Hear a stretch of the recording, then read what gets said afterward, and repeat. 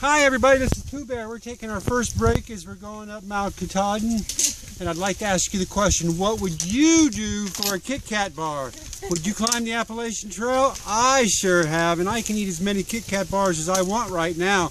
But in a couple days, I'm not going to be able to. Oh, oh, no, no, no, I'll have hiker hunger, hiker fat after that. I think I can eat a Kit Kat bar.